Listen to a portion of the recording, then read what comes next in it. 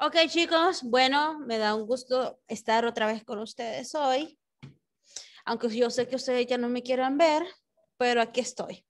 Ok, vamos a dar la clase de ciencias naturales, chicos. Hoy vamos a ver el último tema con respecto a la unidad 2 y vamos a ver lo que son las áreas protegidas de Honduras. Tenemos, creo que es, es en la página 74 del libro de texto. Entonces necesito que nos ubiquemos a la página 74 del libro de texto para que miremos el último tema que corresponde a la segunda unidad. Ya de ahí, chicos, vamos a elaborar eh, lo que es la evaluación sumativa de la página 80 y la página 81. Y hasta ahí terminaríamos el proceso de nuestro primer parcial. ¿Sí, jóvenes? Sí, sí profe. iba a arreglar la hora de la entrega de las áreas protegidas. Claro, Alex. Todavía no lo he hecho porque no hemos visto el tema. Claro que sí. Ok, chicos. Entonces, vamos a hacer lo siguiente. Eh, página 74, vamos a hacer el exploro de la página 74 y nos dice, ¿alguna vez ha visitado un parque? Escribe su experiencia. Vamos a ver. ¿Alguna vez ustedes han visitado un parque? ¿Y cuál es la experiencia que han tenido en ese parque? Les voy a dar algunos datos. ¿Han visitado ustedes el Parque Aurora? ¿Han visitado ustedes el parque? Hay uno que, se que está aquí por el Zamorano, Támara, Ay, ¿cómo que se llama? Sí, el Parque Aurora creo que es. Si no me equivoco. Un Parque Nacional, dice acá. Parque Nacional, correcto. Está, vamos a ver, ¿han visitado el Picacho? Sí. Sí. Sí. ¿Han visitado ustedes la Tigra? Sí. Ok, entonces a partir de eso yo quiero que ustedes sepan cuáles son esos parques nacionales y cuál ha sido su experimentación dentro de ellos. No les estoy diciendo que me vayan a decir el Parque Central, el Parque La Leona, el Parque del Obelisco, no jóvenes. Son parques en relación a las áreas protegidas de Honduras. ¿Bien?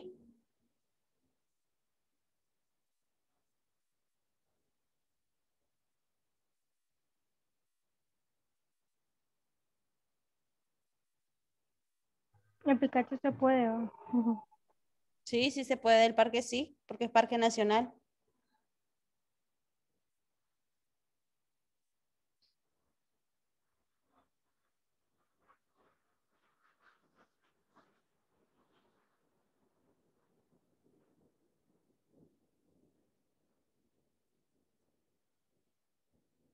Ya. Ok, listo. Quiero que piensen bien el parque. Después le voy a decir a qué se deben esos parques con respecto al contenido. Vamos, yo sé que más de alguno de ustedes ha ido a un parque nacional.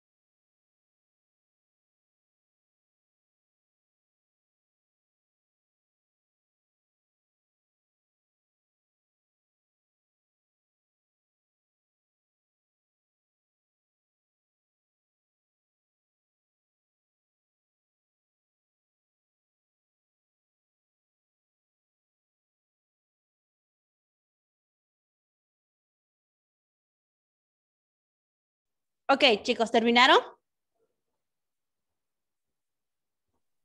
Yo digo. Diego, Diego, solo le miro la cabeza, Diego, y la ventana. No lo miro a usted, Diego. Ahí, muy bien. Ahí sí ya lo puedo ver. Ok, vamos chicos. Desarrollándome la actividad. Josué solo se ríe. Ay, Josué. ¿Qué estaré escribiendo, Josué? Bien. Vamos a ver, Jaime. Jaime, ¿nos puede decir cuál fue, sería su experiencia en relación si usted ha visitado un parque nacional?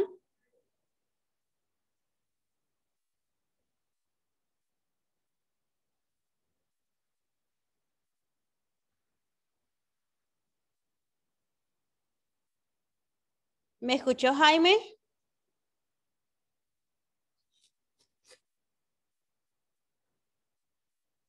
Ok, Alex, ayúdenos Alex. Compártanos su experiencia. La experiencia fue normal, profe. Normal. ¿Y logró ver algo? El ecosistema. Qué barbaridad. A nada fue. No, a nada fue. Qué barbaridad. Pobrecitas a visita. A nada fue Alex. No, Alex, así no. María. Ayúdenos, María. Bueno, he visitado el parque Aurora, Obrero y el Picacho. Y bueno, la verdad me ha gustado porque he visto bastantes árboles, pero he visto más juegos que árboles. Ahí está, es lo que yo quiero saber. Bien, Diego, deje ese lápiz, no se lo coma todavía. Vamos. Mi experiencia fue normal, profe. Ajá, ¿y qué logró ver? Árboles. Bien. estaba, estaba chiquito cuando fui, profe. creo que sí, creo que sí. Cuando todos estábamos chiquitos cuando vamos. Yo tengo añales de no ir. Ok. Bien, Leonardo. 17. Ajá. Ah, sí, al Pikachu, profe. Mi experiencia fue divertida porque vi un montón de animales y, jugué. La diversión sobre todo, pero nadie pudo ver los ecosistemas. ¿De qué, qué era? Si miraban una iguana, si miraban un mono afuera del zoológico. ¡Qué barbaridad! Ok, bien, vamos a ver. Fabricio, Ayúdanos, Fabricio. Yo he visitado el Picacho, me gusta porque es fresco, hay mucha vegetación, aunque ya no es como antes la vegetación. Y me gusta por su zoológico también. Ok, bien. Entonces, chicos, vamos a introducir el tema sobre las áreas protegidas de Honduras. Ahora quiero que mantengan esto. Los parques que ustedes mencionaron serán áreas protegidas de Honduras o no serán áreas protegidas de Honduras.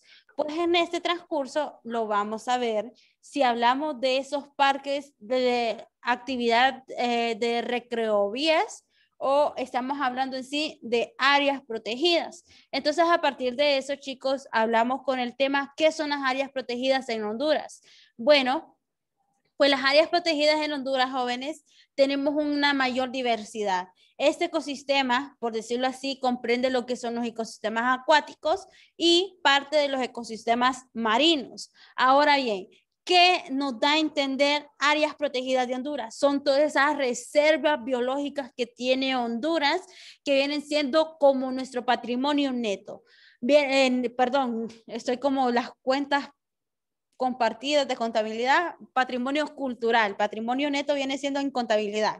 Ok, a partir de eso, ¿cómo se estructura nuestro patrimonio neto? Por las grandes riquezas que nosotros tenemos en Honduras. Honduras se ha caracterizado por ser un mapa montañoso de valles, mesetas, eh, eh, montañas y una de estas grandes variedades son las áreas protegidas de Honduras.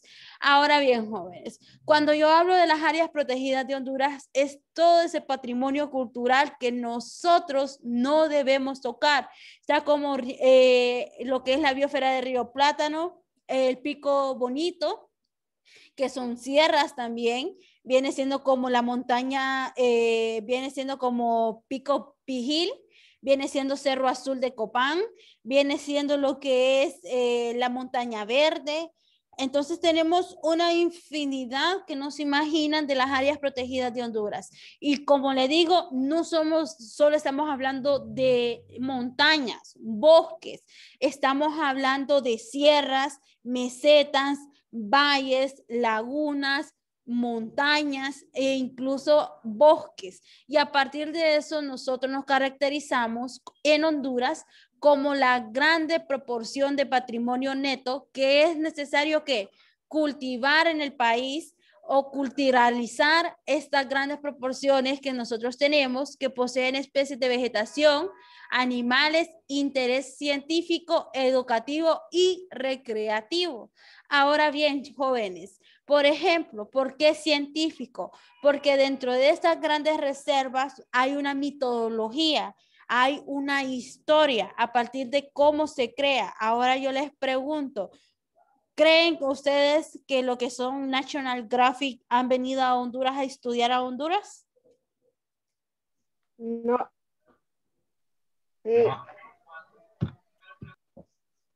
Ajá. ¿Creen que esos grandes científicos como lo que es National Graphic, Animal Planet han venido aquí a Honduras a estudiar? creo que sí. No. Leonardo dice que cree que sí. ¿Los demás qué dicen? No, no, no, que no. Están en lo incorrecto. Claro que sí. Honduras es uno de los países donde más han querido sacar provecho con sus investigaciones científicas. Y una de ellas, jóvenes, es lo que se dio sobre la ciudad blanca, que es en gracias a Dios la Mosquitia que se acuerda que decían de que eh, había una ciudad blanca en la Mosquitia y de que era mágica y de que estaba presente en los mayas. ¿O no se acuerdan de eso? No, no me acuerdo. Ok, como no se acuerdan de eso, voy a buscar el video de National Graphic y van a ver ese documental y me van a hacer un resumen. Ahora bien, a partir de esos jóvenes, sí, Honduras ha sido uno de los países que han querido bastante intervenir científicos extranjeros. Pero, eh, por ejemplo, hace poco vino Sin Macan, hace, vamos a ver, en el 2017 creo, eh, que es un muchacho de Animal Planet. Él, por lo general, la investigación que profundizó fue sobre el tapir y la extinción del tapir en Honduras, o sea, el danto. Entonces, a partir de eso, él empezó a estudiarlo por parte de aquí de lo que es la tigra, empezó a estudiarlo aquí en la mosquitia, que era gracias a Dios, y en la biosfera de Río Plátano. Y él quería estandarizar cuántos individuos de especies habían, si hay más de mil especies o cuántos logró ver. Entonces él logró estandarizar que las especies de dantir están bastante en peligro de extinción por su cacería y no solo por su cacería, sino que también ya se estaban reduciendo las hembras, o sea, había más población de machos que hembras. Entonces ese era un factor bastante bajo con la especie del tapir. Entonces, chicos, sí tenemos grandes científicos y reconocidos de National Graphic que han querido venir a estudiar todo lo que es con la intervención de nuestras áreas protegidas de Honduras, nuestras especies endémicas en Honduras, y a partir de eso se nombró que el tapir está en peligro de extinción por la investigación que él ejerció. Entonces, a partir de eso, jóvenes, tenemos un gran componente potencial en Honduras, pero que lastimosamente la gobernación que tenemos en Honduras, las grandes instituciones que cuidan las áreas protegidas de Honduras, no las cuidan, prácticamente solo se ligan para eh, deforestar. Entonces, a partir de esos jóvenes, ha tenido un bajo nivel todo lo que ha sido parte de lo que son las reservas y las zonas montañosas de Honduras, por el descuido de los grandes magnantes gobernantes y parte de los que es ahorita eh, ciertas instituciones que cuidan de estas áreas protegidas han bajado. Entonces, a partir de eso, las áreas protegidas en Honduras, chicos, eh, les compartí la diapositiva o no. No. No. Ok, vamos a ver ahorita.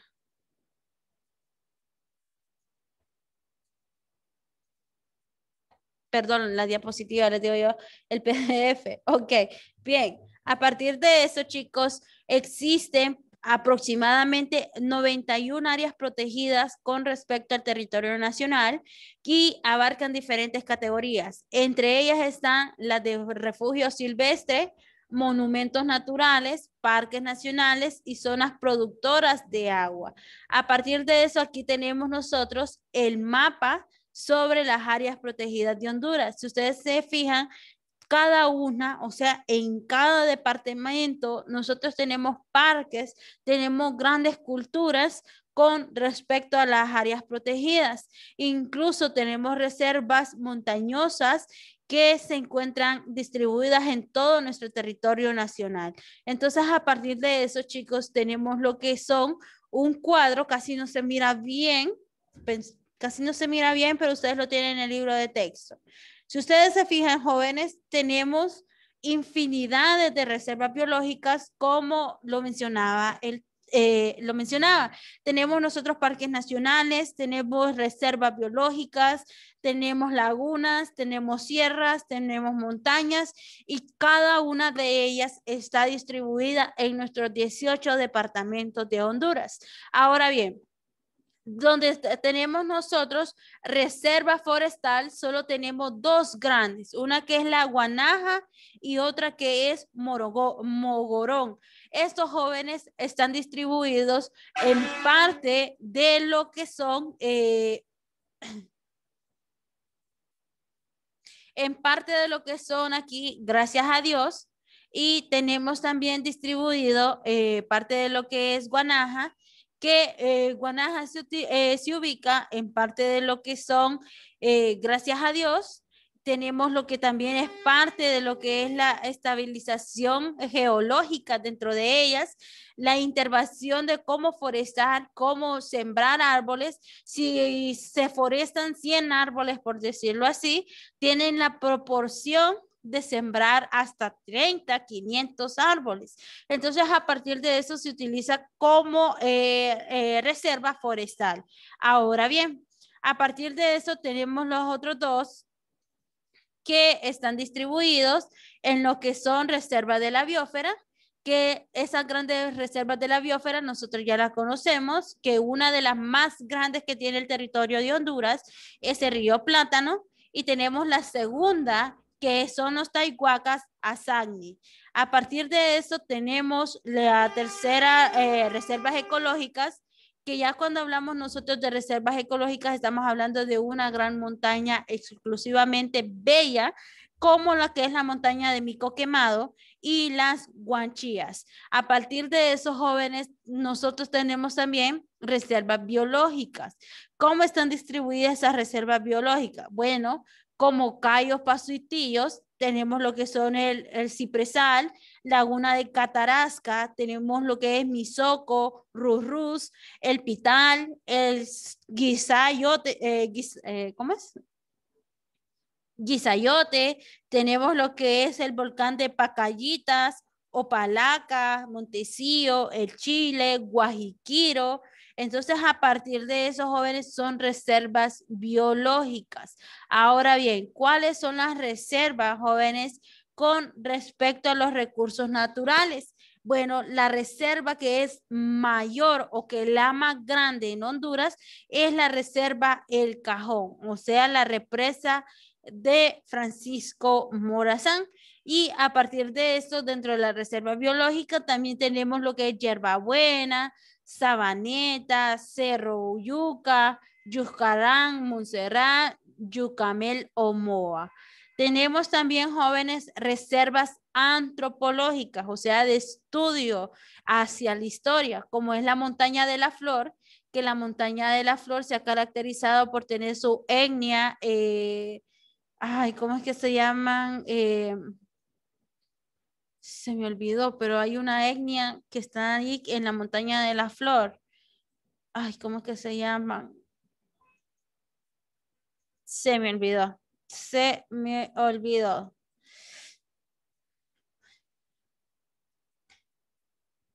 Ay, Dios.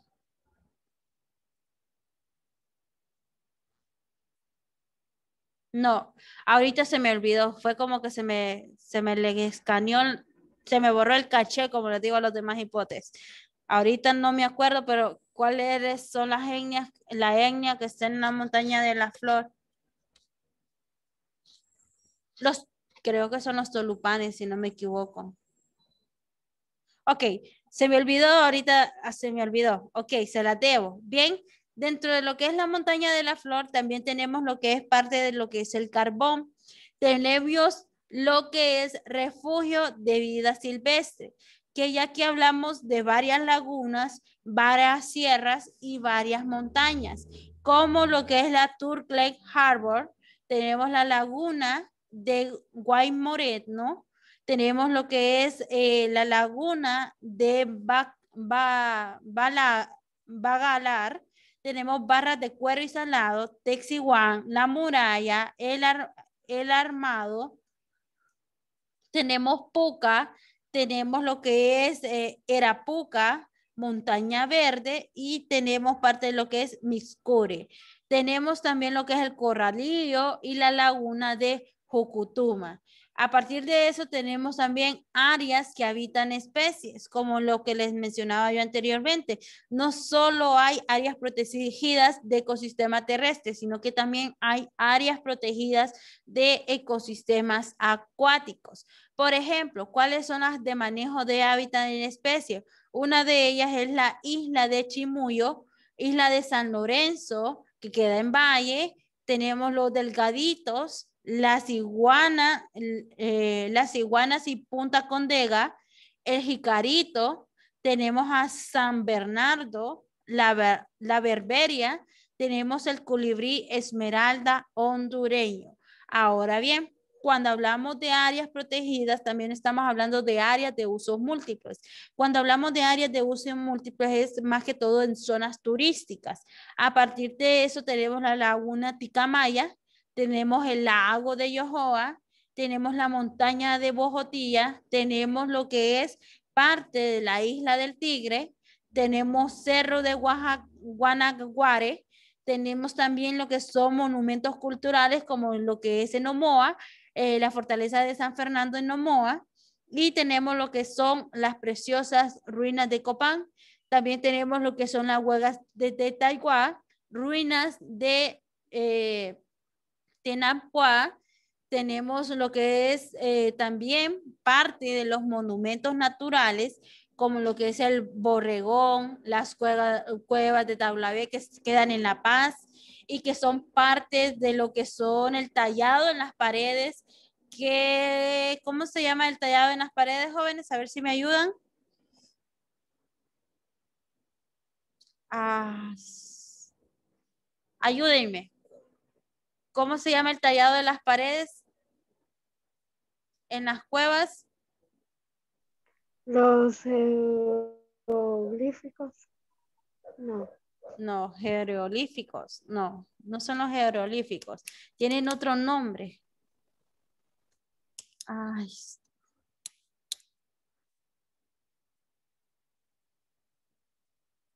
Es es arquitectura rupestre, pero no me acuerdo cómo se llama. Vamos a ver, Cristian, dígame. Déjame pronunciar al baño. Ay, yo pensé que me iba a ayudar a decirme cómo se llamaba lo de las cuevas. No, Cristian, qué barbaridad. Dos minutos, Cristian.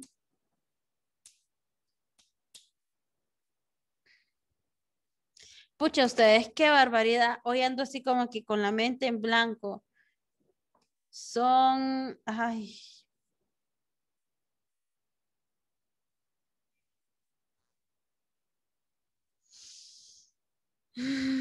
Dios mío, sé que es arte rupestre en las cuevas, pero tienen un nombre, chicos, que es el dibujo que tienen, eh, que hacen en las paredes. ¿Cómo es? Ay, ¿cómo es que se llama? Dios mío, ayúdenme.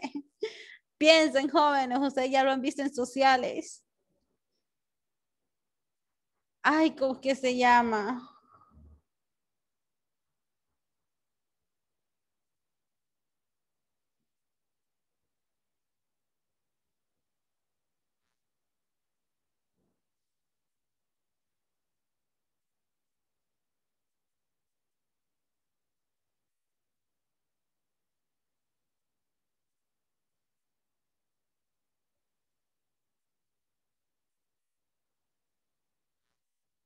Sí, viene siendo como dibujos, pero en vez de dibujos son como pinturas rupestres, pero tienen un nombre. grabados rupestres.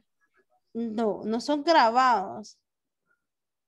Es que tienen un nombre eh, bastante, es como algo antropológico.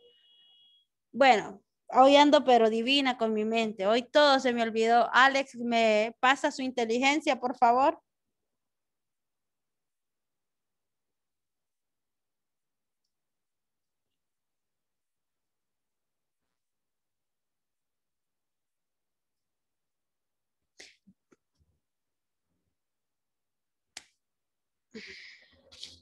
Ay, Dios mío, qué barbaridad. Ahora soy yo la que necesito que me mezcan la cabeza, tal vez así me recuerdo. No, profe, Con es una secreta. ¿Es una qué? Mire que me quitó la palabra. Una arma secreta. Ok, ya me acordé. Es arte rupestre, jóvenes, en las cuevas, pero es un antropo, antromorfólogo antropomorfólogos que estudian este tipo de arte. Entonces, a partir de eso, tenemos esas grandes mm, eh, exclusividades en lo que son ciertas cuevas, como lo que es parte de las cuevas de Taula B, que vamos a ver este tipo de arte. A partir de eso, tenemos el río Toco, tenemos también jóvenes monumentos naturales y uno de los monumentos naturales es el Archi de los Cayos Cochinos, que es muy bello, lo que es parte de Cayos Cochinos, jóvenes, tiene inmensidad de riquezas en Cayos Cochinos. Créanme que es bello. Tenemos los que son parques nacionales. Ahora bien, que necesito que me presten bastante atención. ¿Se acuerdan que anteriormente ustedes mencionaron lo que era Parque Nacional eh, Walter, conocido como el Picacho, y mencionaron el Parque Aurora y el Parque Obrero. Ahora bien, los parques jóvenes que ustedes mencionaron son parte de, eh, de lo que son parques de recrovías o sea, de más que todo como de entretenimiento. Pero ya los parques nacionales ya entran como montañosos, como lo que es el Janet Caguas, lo que es el Capiro y Calentura, Punta Isopo, Nombre de Dios, Pico Bonito, Sierra de Río Tinto, que son montañas como lo que son el Cuzuco, montaña de lo que es eh, Botaderos, Pico Pijol, Cerro Azul Copán, tenemos el río Cruta, Montaña de Lloro, tenemos también lo que es el, la eh, Agalta, tenemos lo que es parte de lo que es Guarunta, Santa Bárbara, Cerro Memeámbar, Celaque, eh, Montaña de Comayagua, Patuca, Montecristo, La Tigra. La Tigra es un parque nacional. Tenemos lo que es Cerro Congolón, Piedra Parada y yo, eh, lo que es Yocutena, y tenemos por Royal, eh, no, perdón, se llama así, por Royal.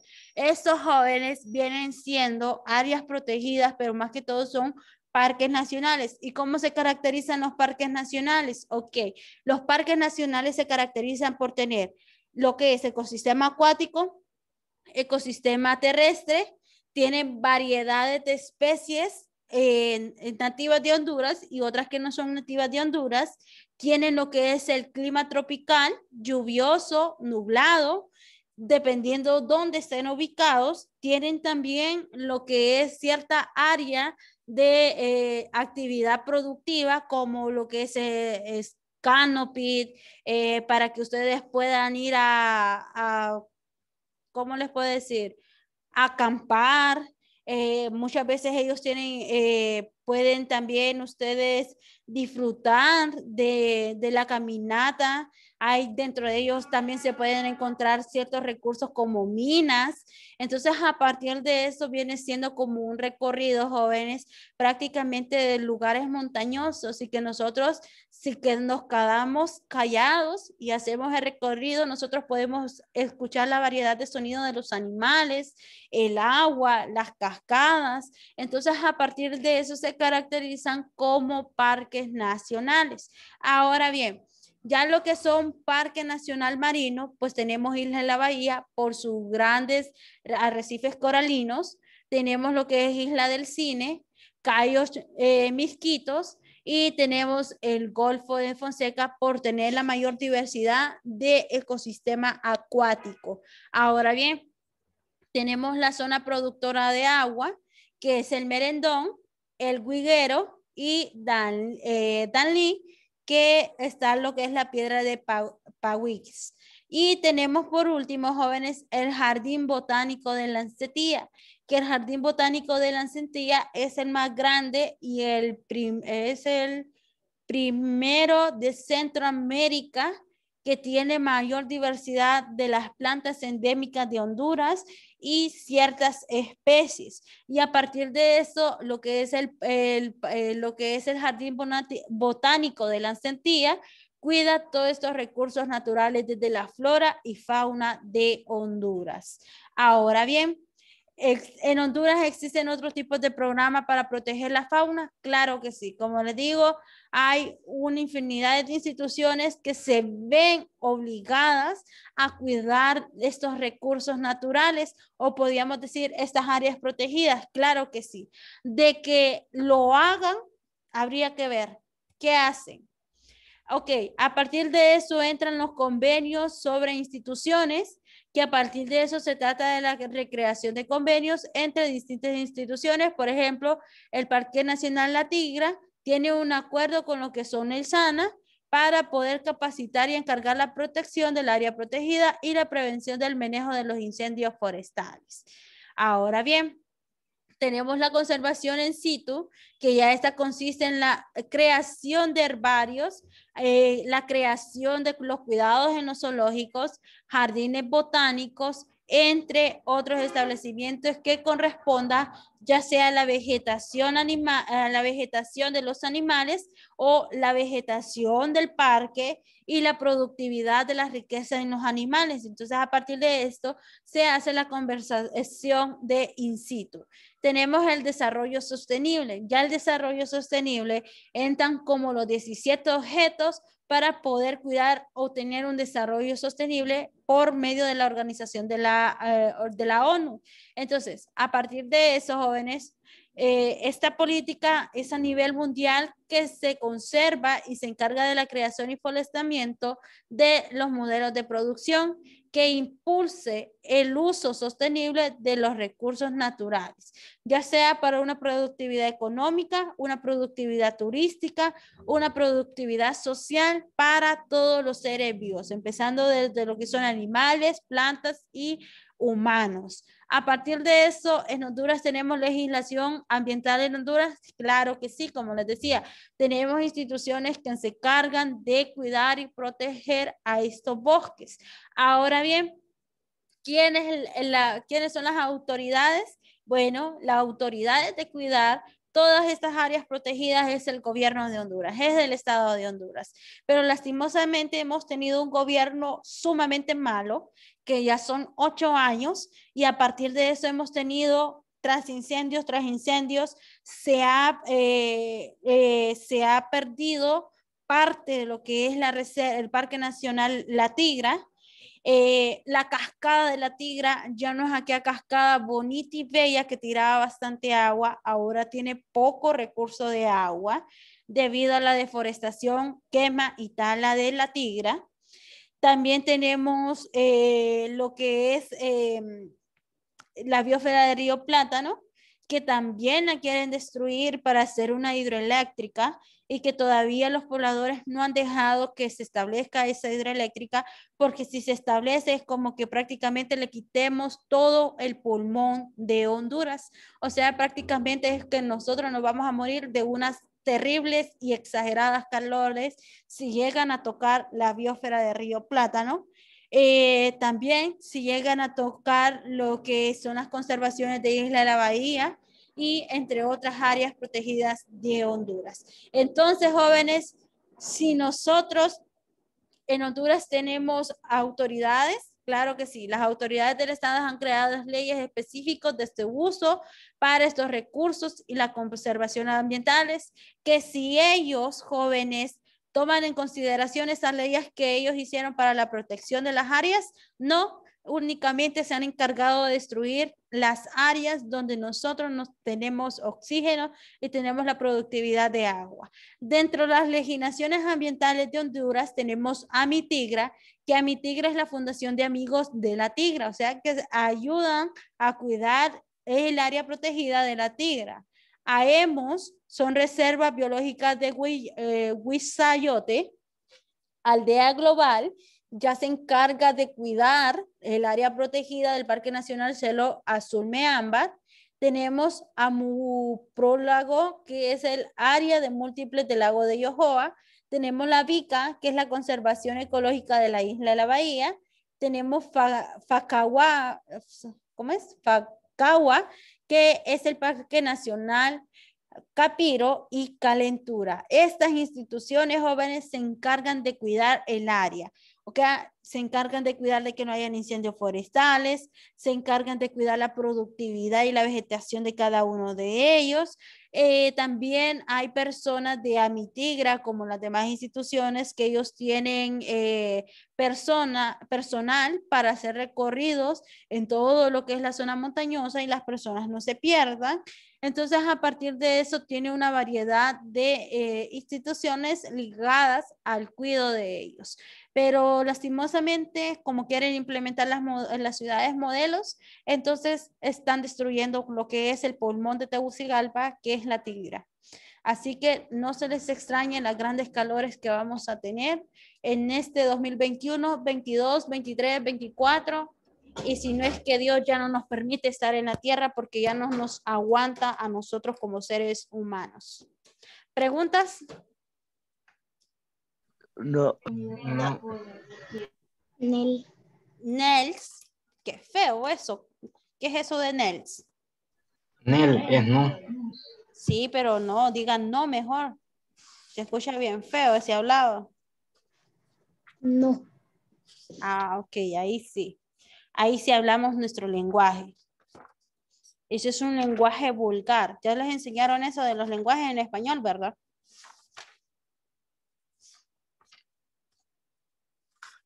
Ok, página 75, jóvenes. Vamos a hacer el apico antes de irnos a recreo. Vamos, en dos minutos ustedes ya, ya me han hecho ese aplico. Dice, escriba R si el área protegida es una reserva, una P si es un parque nacional o una M si es un monumento.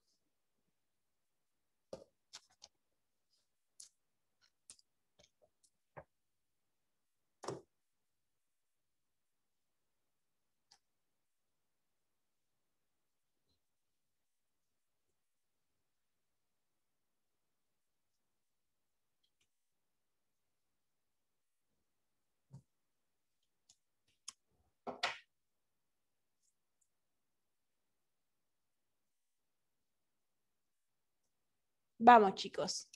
En dos minutos ya me han hecho esa actividad ustedes.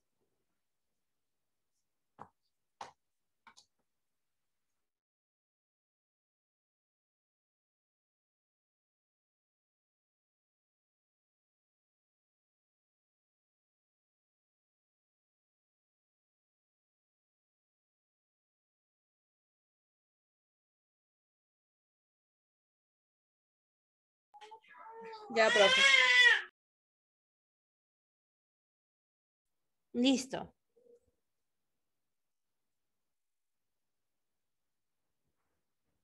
Ya. Ya, profe.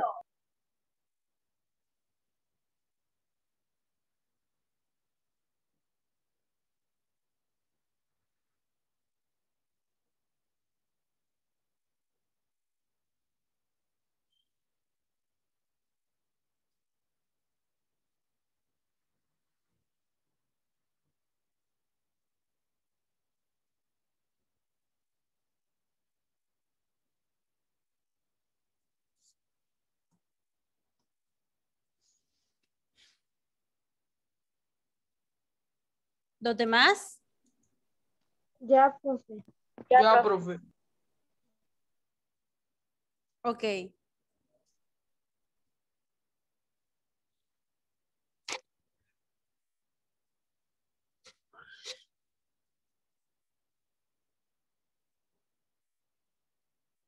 Ok, el, bo el boguerón. ¿De dónde es el boguerón, jóvenes?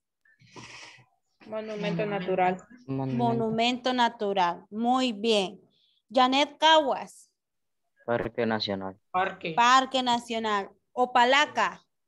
Reserva. Reserva. La Tigra. Parque. Parque Nacional. Parque Nacional. Cayos Cochinos. Monumento. Monumento. Monumento. Capiro y Calentura. Parque. Parque.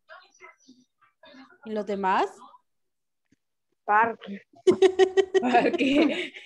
Parque. Como que queda el parque, no parque, que es, ay, deme la chepia, sí, es Parque Nacional. Ok, chicos, entonces para el día de mañana, esto lo vamos a hacer en clases. Entonces, en clase vamos a trabajar la evaluación sumativa de la página Mañana. 80, 80 y 81, mañana. Así que no me vayan a realizar la evaluación sumativa porque la vamos a trabajar en clases y mañana mismo la vamos a discutir. ¿Bien? Ok, entonces jóvenes, ¿cuál es la tarea que me, les toca entregarme hoy? Bueno, el tema sobre las áreas protegidas de Honduras, el subrayado del libro de texto y el aplico contestado. Así que no tenemos más tareas por hoy que nos quedamos hasta aquí, jóvenes. ¿Ok? Sí. Sí, Sí. profe. Ok, ahora bien, cierren todos sus libros y esta profesora va a regañar al curso hoy. No son mentiras, no lo voy a regañar, pero sí necesito darles una información. y ya se me ponían como que tensos. ¡Qué barbaridad! Ok, vamos a ver. Bien, ustedes toman su semana de vacaciones, la Semana Santa. Entonces eso ya, ustedes ya lo saben. Los exámenes creo que van a empezar la segunda semana de abril, o sea, desde que vengamos vamos a tener como una semana de repaso o una semana eh, para que terminen contenidos y la otra semana sería de examen. Creo que empezarían ustedes, si no me equivoco, El 12 de abril. El 12 de abril, si no me equivoco, el 12 de abril. Bien, ahora bien, eh, ¿qué más? Ok, ahora sí va a entrar la parte de la maestra gruñona con los alumnos. Jóvenes, jóvenes, tienen tiempo para subirme las tareas en Classroom. Por favor, los que tienen cinco cuentas me van dejando únicamente una cuenta. Mientras usted no me borre las cuentas que tenga, entonces no se le va a dar acumulativo. ¿Por qué? Porque ese desorden de que tengo una cuenta, tengo otra cuenta, tengo otra cuenta, tengo otra cuenta y en las cuatro cuentas me están subiendo tareas, créanme que yo a estas alturas no me voy a estar materializando, revisando cinco correos, o sea, cinco cuentas. Únicamente me va a dejar una cuenta para su clase. Y si no, lo siento mucho, pero va a tener cero en acumulativos. ¿Bien?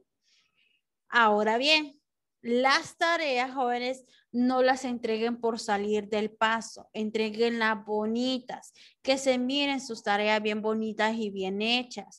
No solo me las entreguen por salir del paso y a los chabacán, por decirle así, a lo sucio. Ay, vienen a presentarme unas tareas hasta con los dedos del frijol en la hoja blanca. No, jóvenes, porque comen encima de sus cuadernos, en en su comida. Por eso tienen ustedes su hora de comer. O hay veces que están comiendo churros y ni se fijan ni ensucian la hoja con, del churro. Tienen que trabajar aseados, jóvenes. No se les pide otro, otra cosa del mundo. O sea, en mi caso, por lo general, mis tareas son pocas las que tienen que subir al claro. Suben más las del libro de texto. Entonces, me, no le voy decir la palabra como dice Polache, porque sería como que, uy, qué profesora tan malcriada, pero ustedes ya se van a imaginar qué palabra es, pero me enoja, chicos, me enoja que no me suban tareas cuando ustedes conmigo no tienen el montón de tareas. Otra cosa fuera que yo les dejara la asignación del libro de texto y de paso les diga, ok, hágase un mapa conceptual. Y al siguiente día les diga, ok, háganse un cuadro sinóptico ¿Verdad que no? Casi mis tareas vienen siendo cada 15 días, cada 20 días para darles plazo. Entonces, a estas alturas, que ustedes no me estén presentando tareas, me siento como una disección de octavo. No lo estoy diciendo por todos. Cada quien sabe lo que está ejerciendo en su clase pero sí necesito que se pongan al día con sus asignaciones. Ahorita que van de vacaciones, antes de que se vayan a la playa, Diego, Ángel Jair, Kemi, Nicole, Génesis Baquedano, Leonardo, vayan a revisar Classroom y miren de que todas sus tareas estén subidas a la plataforma correspondiente a las páginas asignadas. No solo en mi clase, jóvenes, sino que en la clase de los demás profesores. ¿Por qué? Porque acuérdense que después vienen a exámenes y de cuando se empieza la semana de exámenes, ustedes ya no tienen absolutamente nada por presentar. O sea que las tareas que suban en la semana de exámenes, esas les cuenta como inválidas, o sea, tienen cero. Entonces, preocúpense por subir las tareas. Y si la tarea le costaba 15 y este plazo ya tiene como tres puntos, pues ni modo, tiene que subirla con esos tres puntos. Pero por lo menos logró tres puntos para no quedar bajo con las asignaciones. Entonces, chicos, no lo hago como una forma de molestarlos, sino que los hago como una forma de que recapaciten, jóvenes. Son sus estudios. Aprovechen las oportunidades que le dan sus padres de estudiar.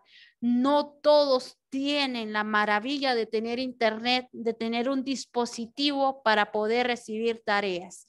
Aprovechen jóvenes, no se imaginan lo terrible que están viviendo los jóvenes que no tienen estos recursos y que no han podido seguir estudiando. Así que chicos, aprovechenlos, no pasan haciendo nada en sus casas. Así que la tarde la tienen para poder eh, hacer sus tareas. ¿Ok? Entonces tómenlo como un consejo y espero que se pongan al día. Ya no quiero escuchar a maestros quejándose porque ustedes de octavo grado no me están subiendo tareas a las plataformas. Como les digo, no es con respecto a solo mi clase, sino que la de clases de los demás maestros también. Entonces pónganse al día con sus actividades, chicos. ¿Bien? Sí. ¿Les quedó más claro que el agua de río Choluteca? Ok, chicos, entonces eh, apaguen sus camaritas y salgan a desayunar. Vemos, profe. Vemos.